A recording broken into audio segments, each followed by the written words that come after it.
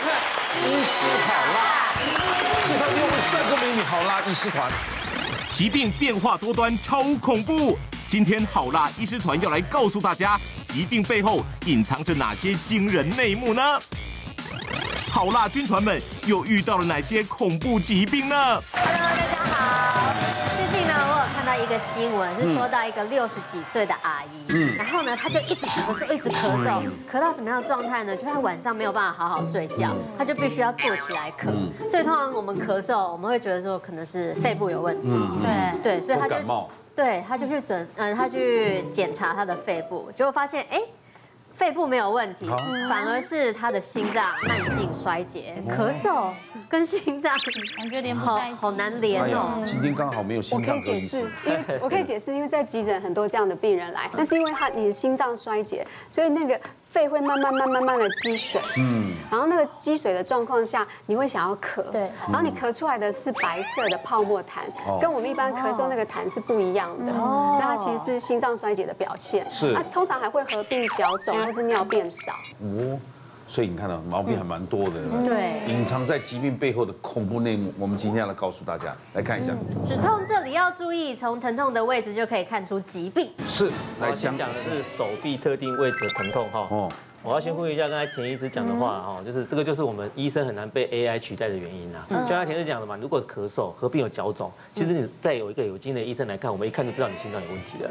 可是对你们而言，你可能因为你咳得很厉害，你只会注意那个咳嗽，你根本不会注意到你的脚肿了。哎，你只会注意说那个最让你最不舒服的地方而已。对对啊，这个就是医生的价值，希望大家这个社会对医生多一点。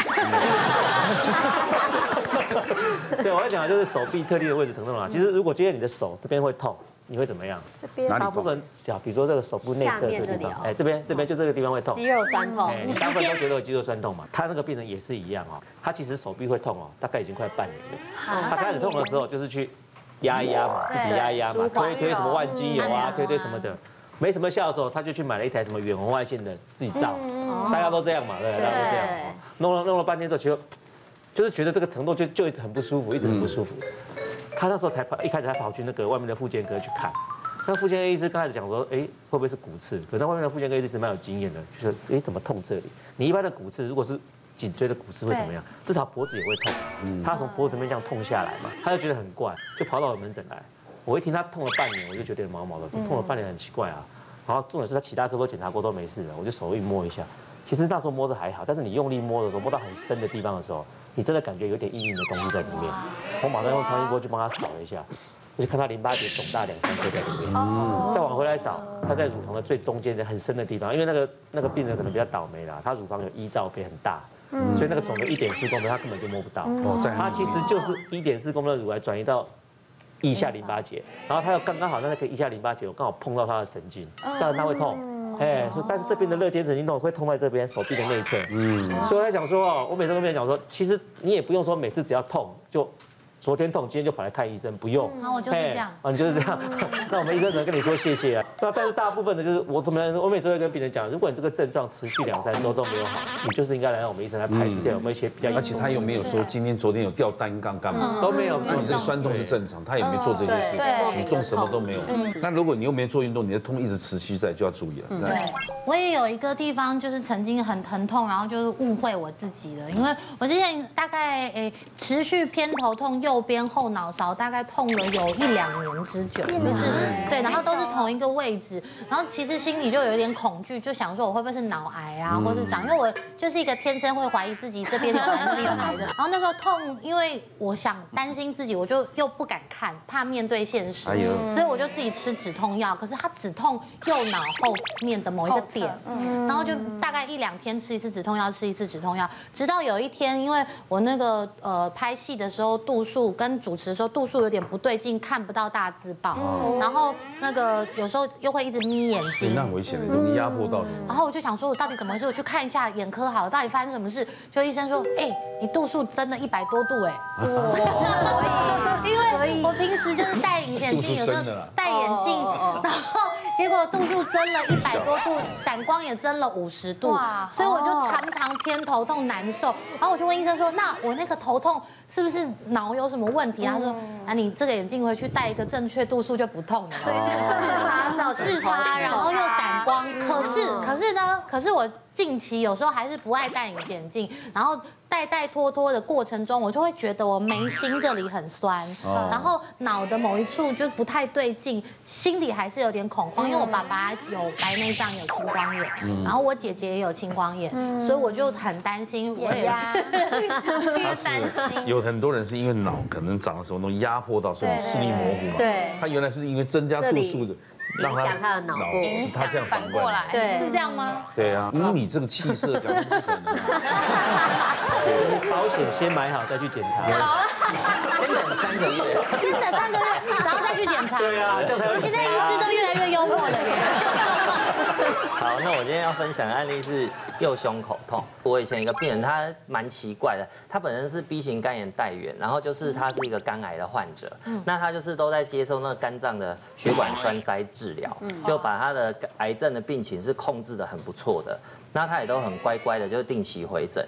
那他很警觉哦，他有一天就是觉得说，为什么他胸口这个地方有个点压得很痛？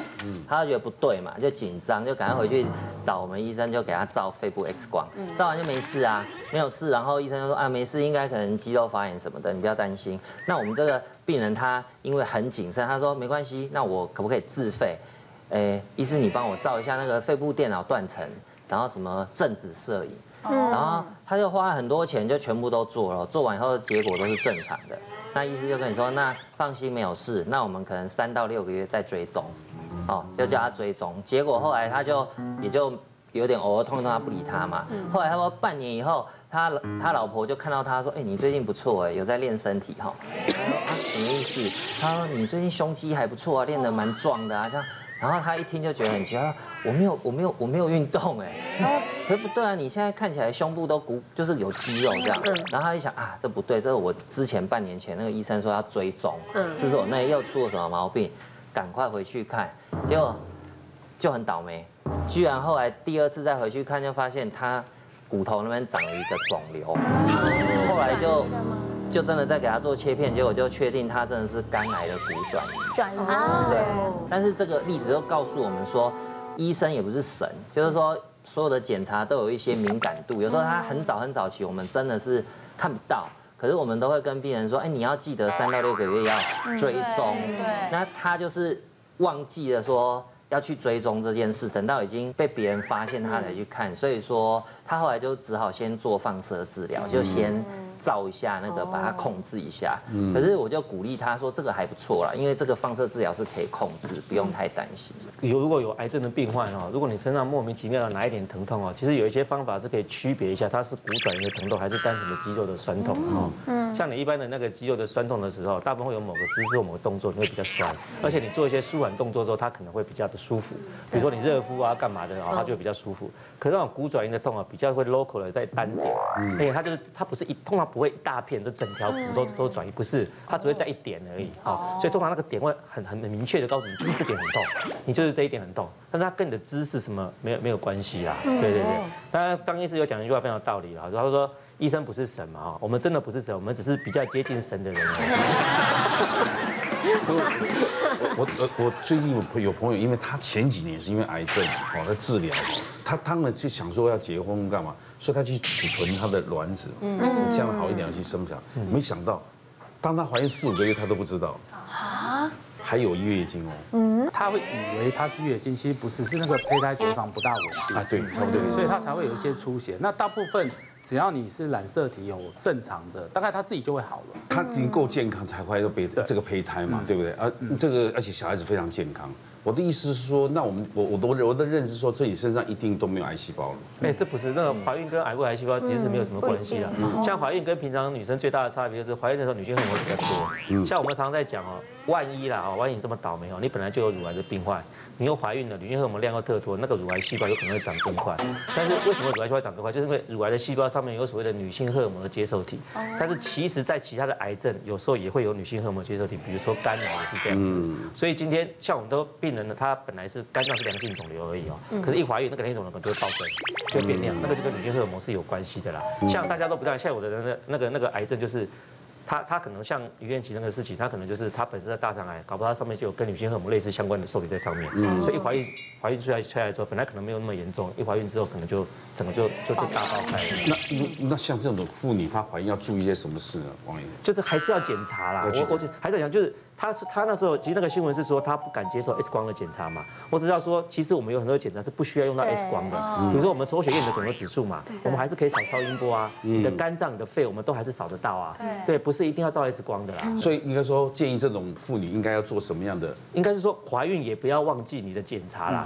而且他一直新闻上面一直在讲说，他因为第一次开完刀之后，他做了十二次的化疗，他就以为他痊愈了。事实上，癌症我们现在不会讲痊愈这件事情而已，是我们只会说你复发率现在很低了，因为你已经过了五年，过了几年了，所以越来越安全了。但是我们绝对不会说啊，你过了七年八年，你这辈子就不用再追踪，那是不可能的啦。哦，那她怀孕了还可以做治疗吗？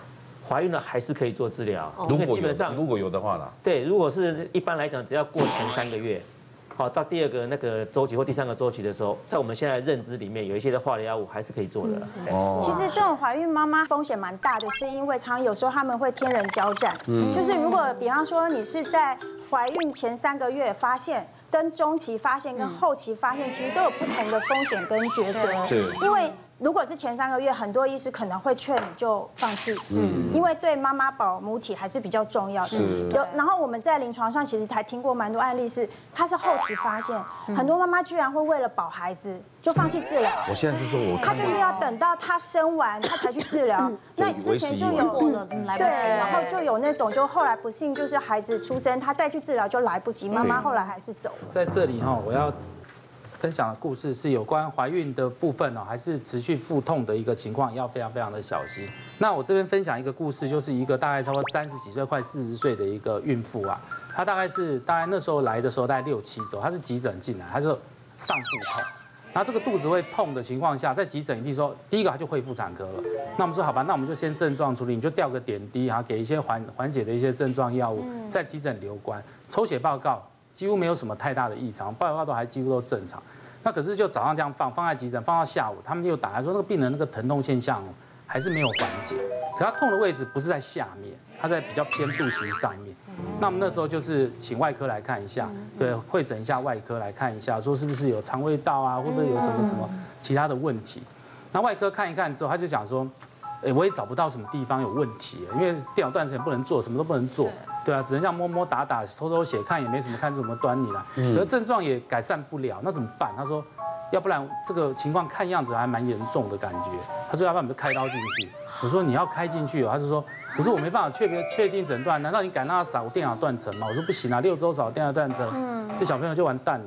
后来外科就跟妈妈解释好，说我们先叫做剖腹探查，就开进去看了。就开进去看的时候，进开刀房看，哇，肚子一打开一看，哇，不得了，怎么看到一条黑黑的像一。像那个黑黑的那个香肠，整个都黑掉了，像墨鱼香肠，那是坏死性肠炎啊，这要救命了嘛。嗯，对，那为什么会造成这原因？可能原因就是因为我们怀孕的妈妈凝血功能都比较好，她那个血栓可能打打到肠系膜的动脉去塞住，不然那个肠子整个就黑黑的。然后外科就说，哇，这个肠子要切掉，哇，那就那切肠子，搞了快五六个小时的手术，甚至，然后后来就外科他们就把肠子接好，都弄好了，拿出来有解释。就说你这样子的话，我们麻药比较久，然后手术完又打抗生素啊，又等等的药物一直在治疗，那最后就这小朋友他就没有说好吧，那就没关系，你就只好下次再努力。那至少这一次是把命给捡回来了。其实现在的麻醉技术很进步，我们手术完之后，当然你如果不是开肚子，开其他地方当然相对安全嘛。嗯。即使是开肚子，其实小孩子会因为我们的手术而流产的几率也是非常非常低。嗯。所以在我们有些有提到过，像。很多人都会得到所谓大家都听过所谓的盲肠炎嘛，嗯，其实因为孕妇不能够做电脑断层嘛，所以我们医生外科医师对孕妇的盲肠炎，我们反而特别积极，嗯，我们手摸一摸，超一波照一下，我们疑似就会建议你开刀，为什么？因为万一我帮你放过去了，你两天之后那个盲肠炎破掉了，你再来开刀，你就真的要流产，宁宁可开错，对我们宁可开错也不要放过，哎，所以我们常说都会跟病病人解释很清楚，说我现在真的没有办法跟你确诊，因为你你就有一些特殊原因，我就是不能做很多的检查嘛，嗯，可是我在临床上抽血上我强烈的。怀疑，我们就会建议你开刀。嗯，但是这个开刀基本上对你的胎儿什么都是安全的，只要他还没有状况没有严重，都是安全的。了解。其实像这种状况，好像刚刚那个是很少见的案例。不过真的是像王医师非常细心哈，像这种坏死性肠炎，假如血管阻塞，你真的是。我们有时候就是放放放放在急诊，病人就突然就休克掉，就突然就是 CPR 给你看，然后通常这种没有早期诊断，致死率都超过九成以上，就算是你是个健康的人，致死率都是九成以上，那更不要说又是孕妇，真的是九死一生。是，不过这种状况其实大概可以跟大家讲几个呃，就是线索啦。通常我们大概检查的时候，假如说我们认为你痛得很严重，我们一定抽血什么都要看到什么异常。这种坏死性肠炎就最奇怪，就是说他明明痛到爆炸，可是临床医生摸他肚子都觉得肚子软软的，没有腹膜炎，然后抽血一开始早期没有什么，可是通常抽血会有一些像 LDH 或者我们有个叫 D dimer，就是一些血管凝凝固的那种特殊的呃因子，有时候医生会抽，抽以后它会有点高。那这种状况就是大大家要像江医师说，要积极去处理，不要因为小朋友的问题就想说我可以拖看看，撑一下，这没办法，这你拼绝对拼输的，因为你输的机会是九十趴，几乎不可能赢的，所以大家要特别小心。来跟大家讲一个故事。这腰酸背痛啊，其实很多上了年纪人都常常会发生的啦。啊，有些甚至是做一些劳力工作的，现在就会了，很容易耶，就不耐做了哦。前录一个小时、两个小时，没有像半个小时就想起来以。前可以打六将的，现在打三。以前可以打两天两夜。那腰酸背痛啊，就是它是真的很常见，但是也常常被忽略啦。啊，有些人会觉得我姿势不正确啊，是不是我搬太重的东西才会造成的啊？对那我这个病人哦，他五十几岁哦。他呃，他是那个建筑工地的工人啊，其实常常在绑钢筋呐，然后扛一些建材啦。后来他他大概就来门诊前，大概前一年左右，他就觉得他腰酸背痛了，他就觉得啊腰酸背痛很常见，我同事都腰酸背痛，没什么，他就自己买了小龙帕斯来贴，贴贴好像又好一点了，但是那个痛又越来越厉害了，就他自己在买止痛药来吃，就还是没有改善。他有一天，他晚上他就他晚上他他吃完饭之后一站起来哦，他就大痛，痛到整个腰弯下来。后来隔天就先去骨科的门诊啊，这骨科门诊跟他照 X 光一照，就发现说他的腰椎腰椎已经呃第一节的地方已经扁掉了。他只是五十几岁，你要到压迫性的骨折其实很少见呐，因为大部分都是骨质疏松之后七八十岁比较常发生的。他才五十岁而已，而且全身都是肌肉。他就觉得那骨科医师先跟他说，这个有可能要开刀，那但是就暂时我先给你症状治疗，建议他带杯架。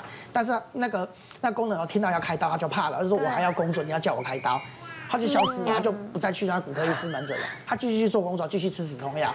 后来过了大概几天而已哦，他又在第二次的大痛，第二次大痛，他又再回去找那一位医师了。但那位医师再跟他 X 光再照一次，就发现那个他的第二节也断掉了，也就整个又扁掉了。但是他就发现那个 X 光怪怪的，那个骨头是上面似乎有一些就是呃骨质疏，就是骨头被吃掉的痕迹，他就发现不对劲了，就先帮他抽血，就抽血一发现说他的肾功能很差。然后就先转到肾脏科门诊来，然后我就觉得，其实其实我我们肾脏科里面有时候看到这种病，就是肾脏衰竭、下背痛又贫血，那这个我们就要想到可能就是呃癌症造成的。后来就帮他再帮他验一些体内一些呃就是一些比较特殊的蛋白质，就一验到就发现说他这个有可能是这种叫做多发性的骨髓瘤。那这种多发性的骨髓瘤是骨髓里面的有一个东西叫浆细胞，它制造出一些不好的蛋白质，那浆细胞过多，那这个东西会到处转移，它是全身性的疾病。但它大部分都是先攻击腰椎，攻击腰椎，然后攻击肾脏，然后再造成你贫血。后来这个病人，我们再跟他做呃跟他做了肾脏切片，然后也跟他抽了骨髓，就确认说他真的就是呃那个多发性的骨髓瘤所引起的。嗯，那引起了后来马上我们就骨髓确认了之后啊，我们就开始跟他打标靶药物了。嗯，而且他表打标靶药物治疗还算成功啦，就是经过了两个月的治疗，他整个骨髓瘤是被压制下来了，当然肾脏已经救不回来了，就开始洗肾了，但他至少命保住了啦。那同时我们再找了骨科去帮他修理骨头啊，就跟他打了钢钉啊，再跟他灌了一些浆，骨头是有修补起来了。不过这病人后来他骨髓瘤过一阵子又再复发了，又再跟他我们又再跟他打了标靶药，这次也控制的差不多了，他是即将要进行骨髓移植了。嗯，对，所以其实下背痛是很常见的，但是就是各位要注意，如果下背痛你吃的药没有缓解，你休息又没有缓解，而这个痛越来越厉害的话，哦，还是要去找医生看一下。我也是要分享一个长期腰痛的病患。一般来讲，肌肉酸痛都是差不多在两三个礼拜之内就要能缓解。对，但是超过两三个月以上还一直痛，嗯，一般来讲就是结构上的问题。对，那我们那个四十岁的病人呢，他也是一样，他超过了一年以上的疼痛，他可能就认为说，哎，没有什么。但是渐渐，他在半年前开始双下肢会觉得感到酸麻，而且越走越无力。这时候他就来来找我们了。那我们给他照一个特殊的 X 光，我们给他四十五度斜位照，可以我们可以看到这个脊椎骨是叫做一个叫做不规则骨头，所以里面有很多的小关节跟小骨头。那结果呢，我们一照发现呢是在第五节的椎弓骨折，又又称为椎弓解离症。嗯，这脊椎骨的骨头有些地方是很薄的，哦，一个施力不良。比如你你看那小朋友在练练习溜冰，他是怎么姿势摔的？常常是。坐下来哦，屁股摔到。我们小时候溜冰都对，哎，对对对。可是你已经蹬蹬蹬丢啊，断裂了，你也不知道，因为骨头还会长。哦。我大人有时候跟姿势不对，搬东西，看到你都就就断裂。对对对。那老人家更不用讲，对，一个不注意，可能很急要拿遥控器，都有可能啊，对不对？是这种情形发生的嘛？对。是，所以可以看到这个，如果是后面的骨头断掉，有时候比较年轻。那刚刚那个陈医师所讲的是前面的骨头断掉。常常是叫做病理性骨折，就是整个结构生病了，骨头生病，所以整个垮掉。而且还也跟钙质有关嘛，对不对？有关，有，但是跟钙质有关，通通常是六十岁以上，叫做骨质疏松。是，但是六十岁以下，如果压迫性骨折，这是高度怀疑可能有癌症。哦，其实临床上我们看到这种被动，刚才那个大爷是讲那种。椎弓那种断裂的，最常见就是去那个给人家踩背，哎，那踩背那家又刚好又没有控，刚好不小心没有控制体重，踩下去飙一声，有有真的有，他都他这上面有斑哦，对啊，可是有的没有啊，可能又比较胖一点点。哇，你这样出生了哈！我有一次就给一个很胖的人踩，我真的是快吓 因为都很暗啊，你知道按摩地方都很暗，我还有人踩哦。有啊，因为其实我喜欢重重踩，花快点。重力，你如果踩那个那个人不要上去，就这样踩就好了。我们是要整个他要跳上去，还要你玩一下这样子。因为上面有花嘛，哎，不告挡，不告挡，因为我们就 哦，那会那会踩断，会会会踩断。所以不建议给人家踩吗？我是不大敢给人家踩了，因为我就有亲戚被踩到这边断掉了。啊，是啊，手就是长期背痛啊。可是那么小力没感觉，那么小力没感觉啊。对啊。可是听完之后，我们还是会去踩。还是小心一点。有点害怕。还是小心一点，便宜是。睾丸疼痛。哎呦，写这个几个字我就有点痛。因为瓜哥这个年纪的话，男生都会视他为命根子嘛，对不对？所以睾丸只要有一点点不舒服，不一定会来到急诊。那他们这个主诉话，我们一定是脱裤子看。那通常看到的就是，要么就疝气。就鼓那睾丸鼓了一大坨，其实肠子掉下去。那要么就是其实肾结石啊，石头掉下来的时候掉的越低的话，会痛的越下面，甚至会痛到睾丸跟肛门啊，其实是结石的问题。那就好。那还有就是，如果很明显外观红肿的话，大部分都是副睾炎。那这种副睾炎的话，你把它抬起来的话，它比较舒服。放下来就比较痛，垂的时候比较痛。嗯，那可是呢，有一个族群不会视他为命根子，就是越年轻的小男生啊。像有一天就有一个十五岁的弟弟来，然后他来是说他搞完痛一天了，然后他是后来才跟他妈妈讲的。那搞完痛一天，又是年轻的男生，在急诊医生其实最怕其实是有急症的，就是搞完扭转。对，那睾丸扭转的时候，它上面的血，睾丸就像那个圣诞灯饰一样，它上面有那个垂坠那个血管啊，整个就会坏死，就没有办法，血就打不过去，血打不下。来。对，所以那时候我看到时候，哇，水管水管这样扭转，它就过不去了，它就过不去了，所以这个睾丸就会坏死啦。然后那时候我就看它是红红的，我把它抬起来没有比较好，而且我抬起来的时候发现它里面的睾丸又硬又大。比左边大很多，哇，一定是坏死，所以那时候赶快做了超超音波，就发现根本没有血流了，所以那时候就跟他家属说，进去开刀房再看一眼，啊，如果真的不行的话就拿掉。所以这个小朋友哪哪一边哪一边，那就就安慰他爸说没关系，还有另外一边这样子，对啊。可是这个后面小朋友会有一些心理障碍啊什么的，所以就是小呃就是年轻大二十五岁以下的话，其实睾丸的疼痛是有一个急症，就是睾丸扭转，这个很可怕，因为这个会要整个拿掉，对。所以二十五岁以后就不会扭转，比较少。比较少，大部分都是在你说扭转都是年轻的时候，比较多，对。跟你没关系啊。生活比较，就是这种扭转，就是在性生活比较频繁的男性比较会发生啊哦。所以大概都是十八岁那个左右了。对，或者是说你结构上本来天生就长得，但这个跟你没关系所以会扭啊。转。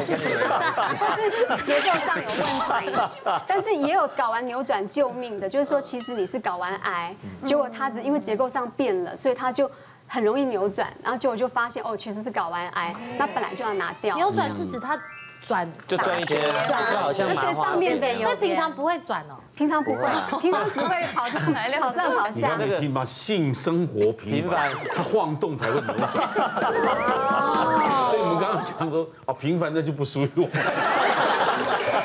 你看像你，凡事一体两面，用错好的也会变成坏的。是的这个我有一个经验，因为就是最近肌肉比较常酸痛，所以我就是买了那个按摩枪。哒哒哒哒对，就是哒对对对中山节的嘛，对对对，加重加重可以呃，就是舒缓你的肌肉酸痛啊。但是因为就是本人用手机也是用蛮凶的，然后所以我的脖子就常常也是很酸痛。放上来打。所以我就想说，哎，因为它有很多个头啊，然后它有说是可以舒缓不各种不一样的我也打过，我打得很晕呢。对，就我一打，我那晚上我头好痛，而且是有一点像发烧这样子。然后我就想到你们医生之前讲到说什么那个美式足球啊，然后都是 撞了脑袋啊打啊啊打啊打的那种，就是因为撞击力太大了。攻击我，那个那个是重量在撞的，那个是重击脑袋会脱离的。真的哎，所以我觉得用那个东西真的要小心，好的也会变成坏的他。不能叫你，他没有叫你打这里啊。没有吧？没有啊，但是我就是想太危险了。我我打我，打的好像被打拳一样。其实这个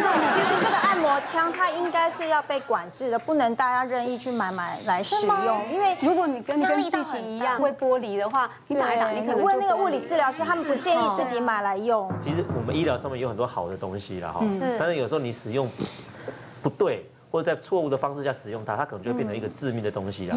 以药物而言，我们最常讲的就是所谓的副作用啦。哈，那有些副作用哦，一般的民众他是不会了解，他不不知道说，哎，我在某个情况下不应该怎么样哦。之前就有个病人哦，他四十五岁哦，他是晚上的时候被他的家人送到我们医院的急诊室的时候，因为家人看他意识不大清楚，送我们医院的时候，我们就看，其实他没有神经学的症状啊，也没有什么瞳孔变大都没有啊，所以我们不是觉得很像中风，而且其实叫他，其实勉强还是会跟你回话。我们就一抽血，哇，败血症哦，白血球一万五，啊，钾离子七点多，肾脏功能大概只有正常的，他他苦于定定那时候才四点多，正常大概就一点二以下，所以他就看起来就是一个急性的肾衰竭。因为我们有看他之前的抽抽血的报告，他三个月前抽的那个肾功能才二二点零，当然肾脏本来就不好，但是这次抽是四点多，我们就知道他是个急性的肾衰竭。就最后我们去检视他的用药哦，因为的话我们发现病人有本身有糖尿病，我们去看他的用药，才知道他发现一个很大的问题。我们有个药啊，叫做 metformin 哈，它是糖尿病很常在吃的药。对这个药很好啊，为什么？因为我们平常在治疗糖尿病的病人的时候，我们怕有时候药物不小心过量，病人会低血糖会昏倒。嗯，这种药不容易造成低血糖。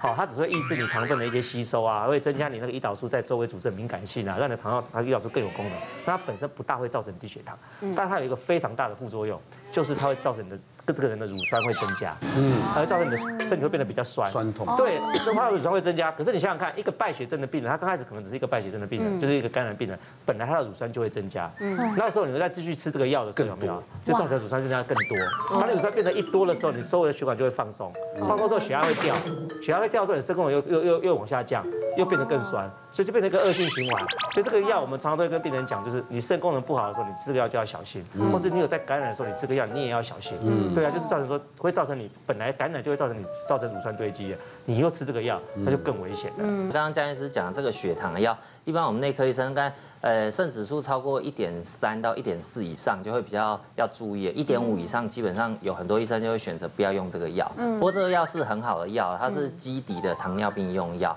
所以大家不要过度恐慌，就是你的医生会帮你。就是把关的。那我现在分享另外一种本来是好的，但是会变成坏的东西。其实我今天要讲的是抗生素。哦。抗生素大家听到应该是觉得不好嘛，对不对？对可是抗生素在医学上来说，对我们医生讲是一种必要之恶。嗯。就是说，因为你很多病是细菌引起，你不用抗生素也不行嘛。那我就讲个例子来说，他打抗生素打久会怎么样？呃，我们有个病人以前我在住院医师后得呃遇到的，他就是肺炎住院，然后肺炎就是一定要打抗生素啊，然后就是要打那种血管的很强的抗生素，就打了大概七天八天，就肺炎好转了，就后来他就开始拉肚子。然后拉肚子，那个时候我住院是第一年、第二年嘛，我说啊拉肚子就给你开止泻药吃，然后就吃吃吃都不会好。然后那个病人就说我大便很臭，里面好像有东西烂掉了味道。那那时候我才想到说，以前学长有教我们说，哎，这种的话有时候是抗生素用太久了，用太久以后抗生素不是打肺哦，它会把我们肠胃道的好菌杀光。那我们肠道里面有一种菌叫困难梭状杆菌，那个细菌是本来是每个人都有的，但它平常不会让你生病的。你把肠胃道好菌杀光了，这个困难梭状杆菌本来一点点，结果突然，哎，上面大哥都被抓去都死死光了，他就变老大。他就大量繁殖，就他本来是一个不会让人生病的菌，后来就让你生病了，他就由好变坏。那这时候我们就验大便，就发现哇，他大便里全部都是这个细菌分泌的毒素，我们就确定他得了一种病叫伪膜性肠炎。那这时候怎么办？只好肺炎的药就要停掉。还好他打了十七八天嘛，到第十天发现是确定那个病，肺炎也差不多，X 光照起来肺炎控制住，就先把药停掉。结果要改吃。另外一种用吃的抗生素，以前新闻有讲过，某个医学中心有遇到这种反复发作的，最后用口服药不行，最后怎么办？叫病人去用吃大便，就是 就是用粪便大便做的药丸治疗它，对，找健康的粪便给你吃，为什么？就有点类似益生菌的概念。困难梭菌是目前唯一合法可以使用这个粪便的治疗法，对，在国内。吓我一跳。对啊，所以哎呀，你以后如果肚子痛，我就跟你讲说，哎，等下叫你去吃大便是为你好。重点是我还会信哦。而且像那个 YouTube 网站上面，你都可以去找到哦，教你怎么吃大便的，就是怎么样把健康清冷的大便怎么样风干，风干之后呢，你要怎么样浓缩，然后浓缩之后你自己买那个空白胶囊，自己给它装进去这样子吃。不过那个是不卫生啊，网网站上很多这种在教学。那为什么你会去看这些？因为他最近在尝试啊，他 最近肚子痛。哎，网络现在是越怪越有人看啊。对常理智、理性跟聪明对。啊，有一个男生哦，他是十五岁的时候就在体育课的时候就猝死，还好那个体育老师跟学校有 AD，然后体育老师会急救，所以就把他救到医院。那时候我们就发现哇，他是先天的心脏肥厚，所以那时候就住院开刀，把那个肥厚的地方把它切切薄一点。就他在十八岁的时候再一次体育课又猝死，然后那个时候是也是现场有还好有 AED，然后那时候是电击，就他一直有那种呃致命的心律不整就电击。那后来住院了，做了很多次检查之后，就确定说你这个会一直不正常的放电。那你不可能 AED 提在身边嘛，所以就给他装了一个机器，大概一一百至少一百万左右一个机器，一个这么小一个一个一个像卡夹的东西，放在呃心脏放在皮下，然后接到心脏。如果你万一跳出那个心律不整的时候，它就会电你，你跳你跳出心脏，它就会电你。对，结果有一天呢，因为他家人就会鼓励他说，你还是可以正常生活，你现在都正常了，你有 A，你有那个自动电击器在身上，正常生活。所以他那时候就是想要学开车，所以他就去开车。结果开车的时候，就哎家人没有看到他回来，他就倒在车子外面。对，结果还好，因为他们都知道他的问题，所以他们家里自己有 AD，就先帮他电，然后 CPR 送到医院。就发现他那个机器没有在动了，所以才才会昏倒。对啊，为什么？因为只要有任何电磁波的干扰，对，所以我他在做关的动作的时候，熄火的这个动作的时候，整个车子里面其实是有很大的电磁波。对，熄火。对，所以那时候家属再回去看那个注意事项，其实有关车关关车这个动作，还有比如说你过机场啊、海关啊，他可以在你身上逼，但是。它不能逼太久，尤其是那个扫扫，如果刚好经过你那个机器的时候，扫太久，超过好好几秒的话，你就会消磁了。对，然后比如说你他如果有肾结石，他就不能做体外震波，所以这东西很好，会救命。但是就是大家一定要注意那个注意事项，就像吃药也是一样，要注意注意事项。好像刚刚前面张医师有讲讲到的，像肠胃道的感染哦，那像我们妇产科的部分，当然就是下泌尿生殖道的感染。那我们跟外界会接触的地方，就是细菌很容易攻攻进来的地方。像人吃任何食物，多少会肠胃炎。同样的，泌尿生殖道在下面，它也是个开口。所以阴道发炎哦，在我们妇产科门诊里面哦是非常非常常见的。他来就会跟你讲说，我下面可能分泌物比较多，可能比较痒，他不舒服。那我们通常内诊会看看他分泌的颜色啊等等，做一个简单的简单的一个判断是什么样细菌，就给他药治疗。那给他药治疗之后，一个礼拜后再回诊，我们就问他说：“哎，你药物治疗结果怎么样？”然后讲：“哎，这个效果不错哎，你要要用三天之后就好了，也不痒了，分泌物也没有了。”他说：“那这样就好了，我们再检查一下，没事就这样就结束了。”然后大概这样事隔了一年之后，这病人又回来了，然后再回来的时候，他就说：“我这个问题又一直来，可是最近哦都一直常常反复，一直这样子。”那我说：“那我帮你做个细菌培养好了。”就一看。是一种常见的一些的一些链球菌，可是呢，我们那个培养的细菌会有很多抗药性的符号，那全部都是抗药性。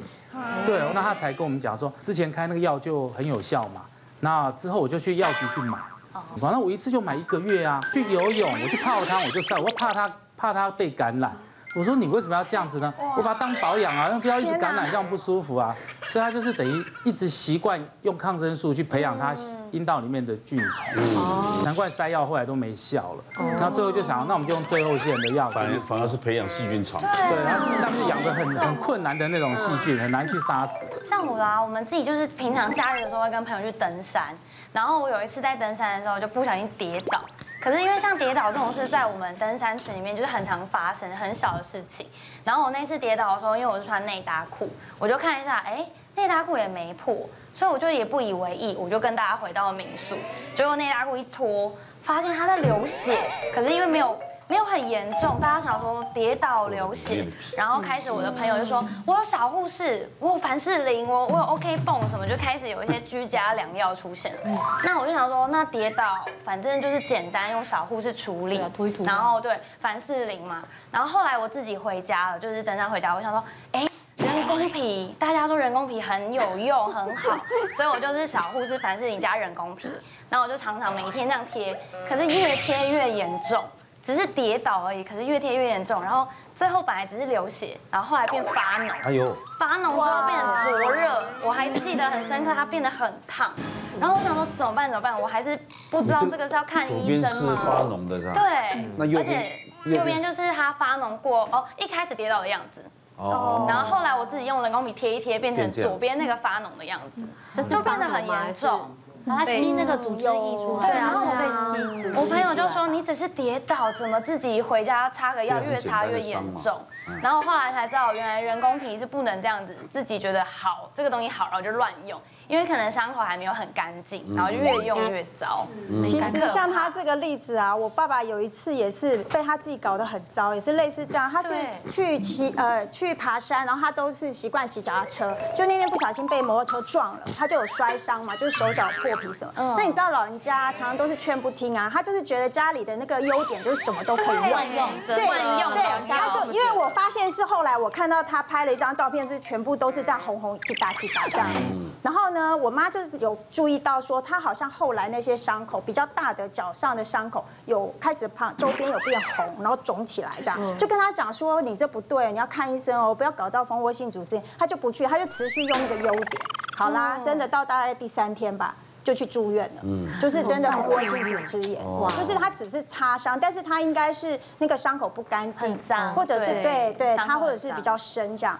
那我这边想分享就是说，很多民众啊，其实我们去日本药妆店，或者是喜欢去日本，有时候会买那个一体 OK 有有买过，对，送你自用两相宜这样子。可是事实上，它的使用是有一些就是限制的，它其实对。它其实它的好处是说，因为它可以防水。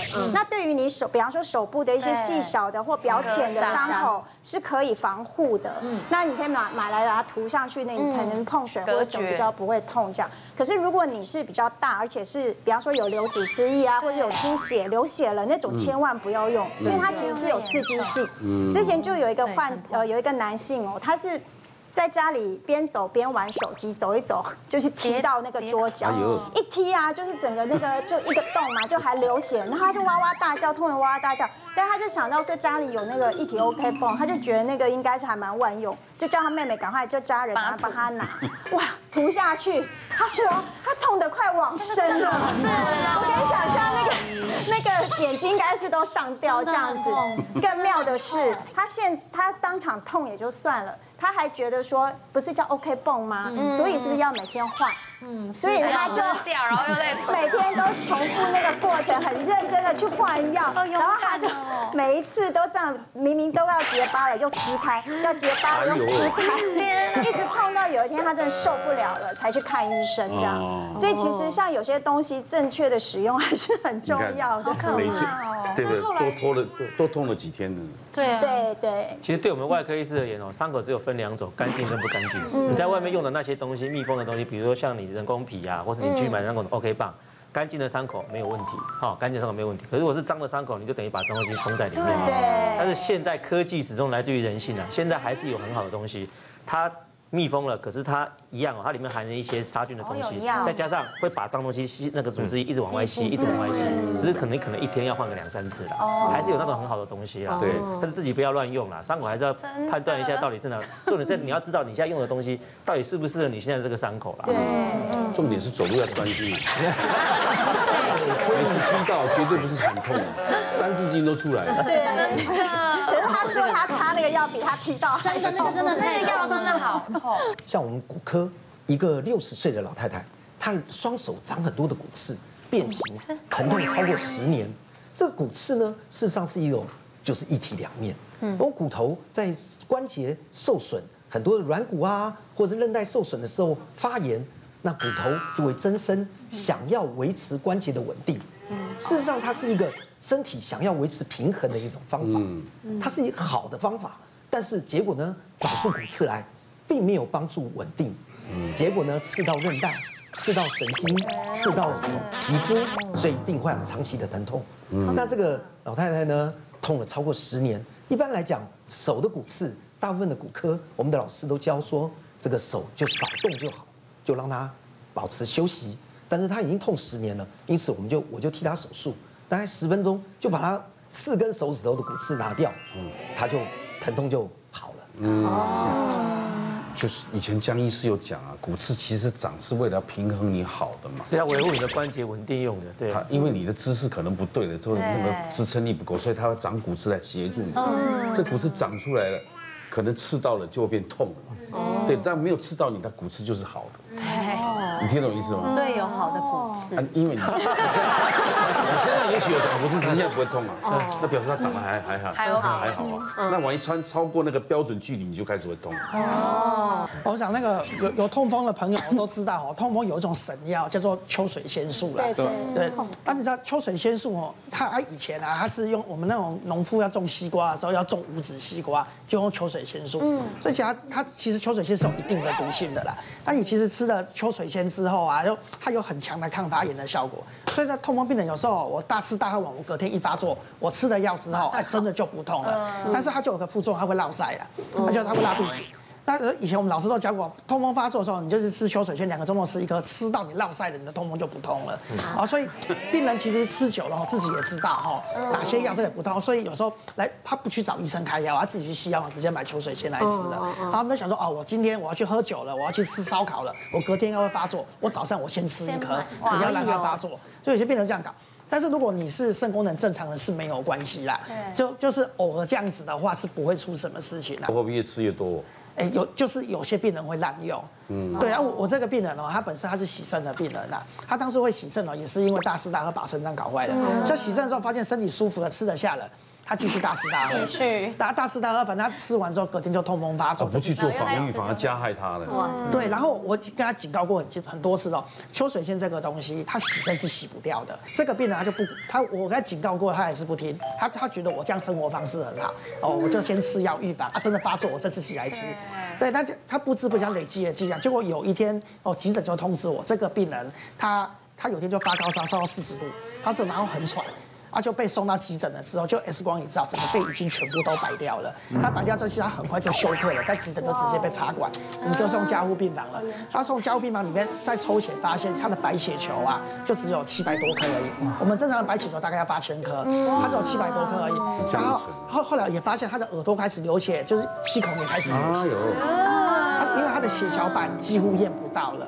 那我血小板正常要十五万以上，他几乎验不到了。那他也贫血的很厉害。他所以他是引，他其实他是秋水仙的毒性最强的一种，就是累积过量之后造成骨髓抑制。那因为我们这些血球通通都是骨髓制造出来的，那秋水浆过量了，它骨髓制造不出这些东西了，那你自然免疫细胞都做不出来了，你无法抵抗外来的细菌了。它三天而已哦，就死掉了，很快。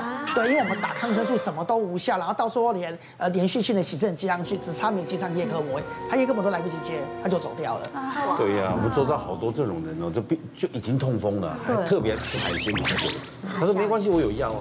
真的你看他们有药的结果，听陈医师讲，你不要加害自己身体，你应该防疫，尽量要克制这些东西，尽量不要吃这个秋秋秋水秋水仙。身体啊，其实我们要每天注意它，不要放在那边呢。刚才我要补给哈，应该是要随时注意的，有任何波动就要审慎检查。祝大家身体健康，谢谢。